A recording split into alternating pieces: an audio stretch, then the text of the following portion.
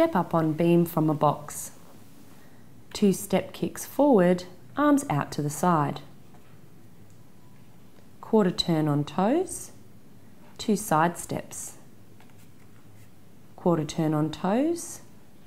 Balance, arms in front in circle position. Two steps backwards. Quarter turn, quarter turn on toes. Marching steps to the end of the beam. Straight jump off, safety land.